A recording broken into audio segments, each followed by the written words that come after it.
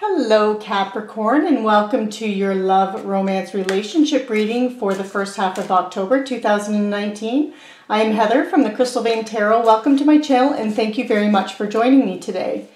Not all of these messages will resonate with you. Take what fits and make a note of those that don't, as they may become useful to you in the near future. Also, check out the readings for your moon, rising, and Venus signs if this reading doesn't resonate. I have provided a link below for your convenience where you can find out those placements in your chart. Um, I only post these readings on YouTube, so if you enjoyed or were inspired by this reading, please give it a thumbs up, like, share, subscribe, and comment down below as I would love to hear from you and I do value all of the feedback I receive. Now let's get started and see what messages and energies are around you for the first half of October 2019. So, dear Spirit, what messages do you have for Capricorn for the first half of October 2019? Dear Spirit, what messages do you have for Capricorn for the first half of October 2019?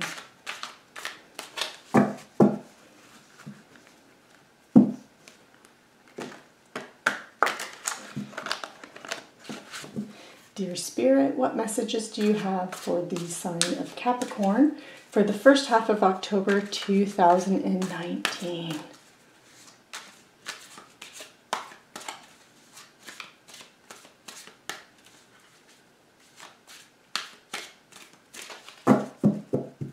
Okay, I'm just cutting the deck.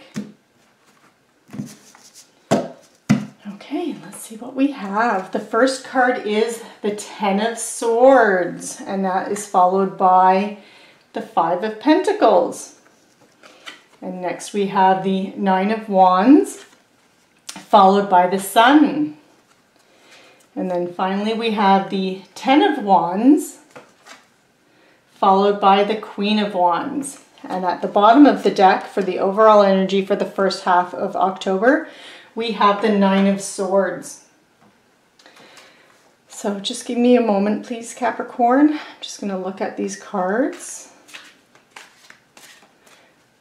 I'm, I'm really feeling like you have a lot going on um, in your life. You have, you have two nines and you have two tens, and they're both in the suits of swords and wands.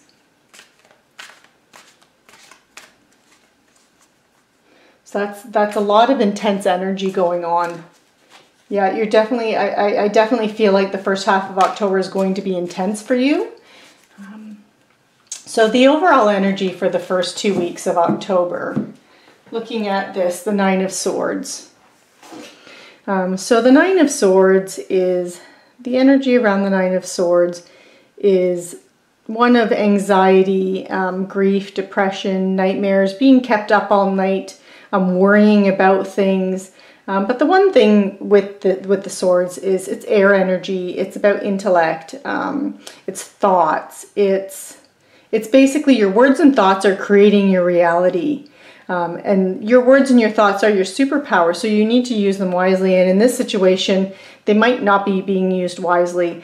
Um, this is a card that can can say that you know you're turning that that molehill into a mountain. That the problem or or the feelings that you're having, the grief, anxiety, that it's it's it's bigger. You're making it bigger than it needs to be.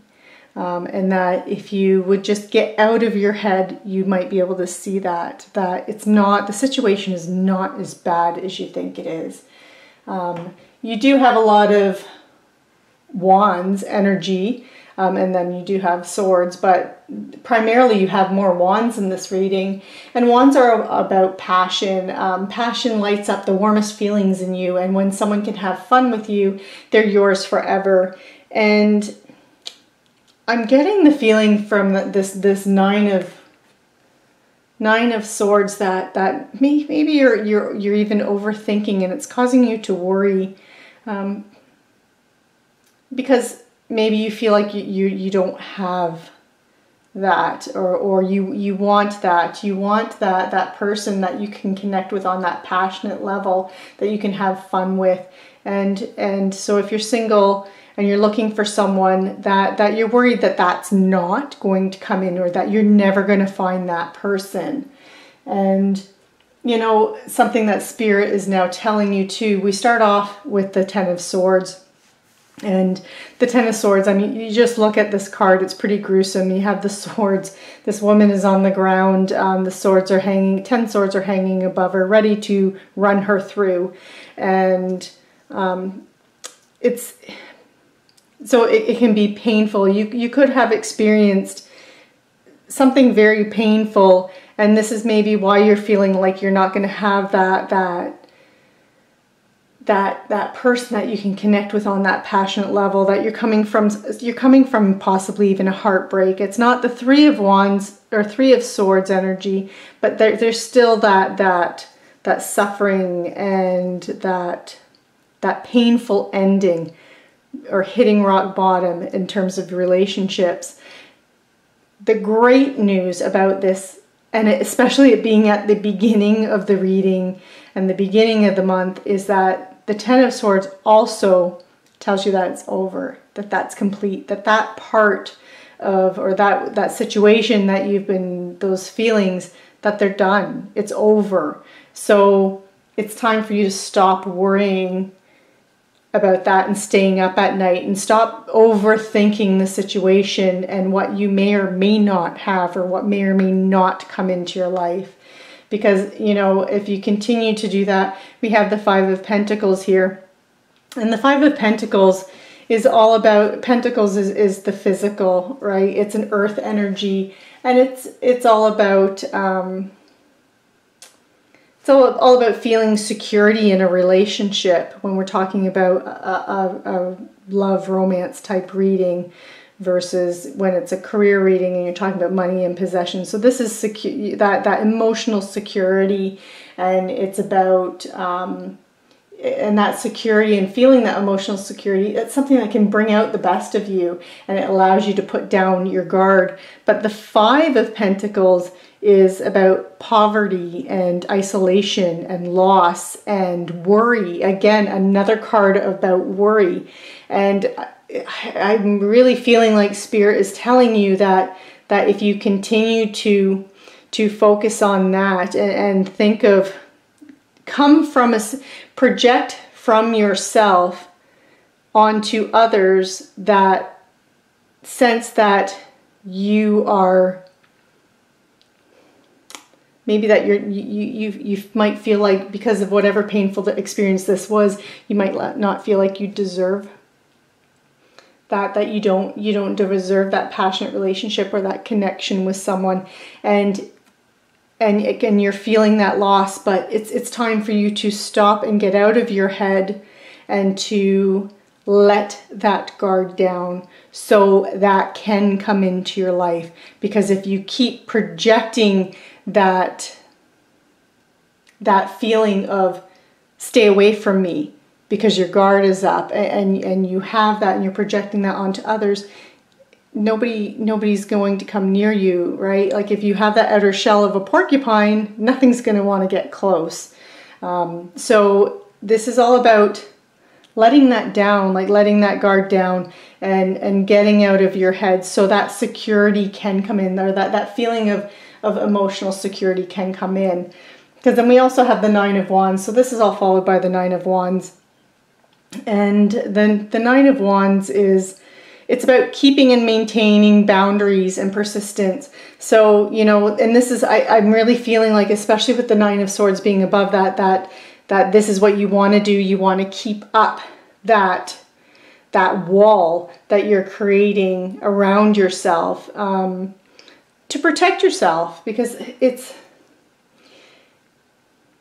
yeah, I'm, I'm, I'm really feeling like you've come come from from a place of or you've experienced, you know, either in the recent past or it could even be further further in the past than that, but that that you've really had had a situation where where it's almost as if your heart was broken and so now you're afraid to let something in. And this is the nine of wands is saying that. It's about you're still putting up that wall and that that resistance and and with it being clarified by the sun spirit is saying that you don't have to do that anymore capricorn that you can let that guard down that it's time for you to open up. The sun is one of the most positive cards in in the tarot deck.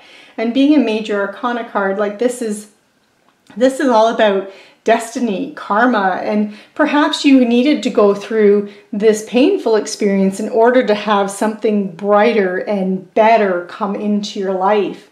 And so we're looking at the sun, and, and the sun, it speaks of new love. It talks about love at first sight and falling in love for the first time, or just like the first time. So if you're in a relationship and you've gone through bad times and and and I'm not saying that that your spouse was cheating on you, but that's just the easiest example that people most like a lot of people can relate to that if if something like that was happening um that you know, it maybe it's time to to if you're if you're staying in that relationship, whatever the situation was, that perhaps it's it's time to to let down that guard now and let in the sun because this is that opportunity for again falling in love for the first time or just like it was the first time and it feels that way. And this card speaks of joy and happiness and love and relationships. And if you're single then this card um, is, is about a new love interest who will adore you and show you love from a pure heart if it's an established relationship, then the sun signifies that something um, bringing you joy. It could be a child, a shared interest, going on a holiday, a celebration, etc. That, that that's coming and that that can kind of reconnect and, and reignite that flame in that relationship.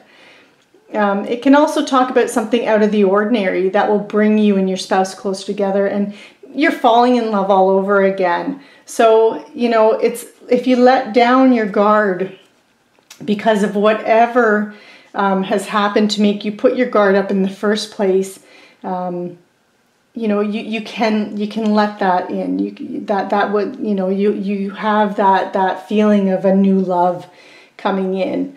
Um, because then this is also followed by another 10, the 10 of Wands. And so the 10 of Wands, again, 10, 10s it, it's always about completion. That that that, that cycle is ending. Um, the battle has been is over now. Um, however way you want to look at it with that. But um, the the Ten of Wands can also talk about stress, exhaustion. Um, there's you have too many burdens. Like look at he's carrying these these ten wands in his in his arm. He's looks like he's heading over to the um, the city. So he's still, and it's way in the distance. So he still has a long journey to go. And these swords are starting to fall, or sorry, these wands are beginning to fall out of his hands. And so you know, it's and these are all the burdens. These this is all everything that he's carrying, and just becoming exhausted. And I'm I'm feeling like like this burden, this exhaustion is all about this and all about letting go of that it's and it's telling you that it's time to let go of these thoughts in your head that it's time to move past whatever this was that was causing you to stay up all night and causing you to to feel like you're just completely done and and that you are that that whatever that painful ending or painful experience was it's it's time for you to to let that go and and move forward from that because it's just it's draining you and you cannot keep that up. Um, and it is time. Tens again are, are an ending so it's time to release that burden. And um, it's being clarified of all things by the queen queen of wands. And so this is amazing. So capricorn this can be you. It can be someone else that's coming into your life or it can be someone else that's already in your life. But the Queen of Wands, she is she is amazing. She is someone that knows what she and it can this can represent male or female energy, but as the Queen of Wands, you know, she's she's a master of that suit of the wands and she is passionate, she's fiery, she is she has desire, drive, she knows what she wants and she knows how to get it, get it and nothing stands in her way. And the Queen of Wands is um yeah, she, she just she she's this is this is an opportunity for for passion whether or not it's you or another person um, who's who's showing these traits. Uh, that that Queen of Wands is, you know, she's very confident and self-assured. So what this is telling me is that once you release all of these, the, this fear, anxiety, worry, the, the pain that you've experienced, the feeling like you don't have, um, and that you're, you've been left out in the cold, and you stop keeping, you, you, stop, you take down that boundary and, and, you, and you let it go, that you're going to have the sun come in and the sun blessing your relationships. And and it's going to ignite that fire and the passion that that those emotions that that those personality traits of that queen of wands and that queen of wands energy. So not only is this going to feel like new love or not love at first sight or a, a reigniting of, of a current um, current relationship but it's going to also bring all that feistiness that that passion that comes with the and with the, the Queen of Wands, and it's going to bring a lot of confidence into your relationship and self assurance into that relationship. But you need to release, you need to release, and it's time for you to release all those burdens. And it's time for you to put that guard down and let that go, whatever's happened. So, Capricorn, this concludes your reading for the first half of October 2019. Please join me again for the second half of October reading that I will be posting in approximately two weeks. Thank you very much for watching me. Lots of love and take care, Capricorn.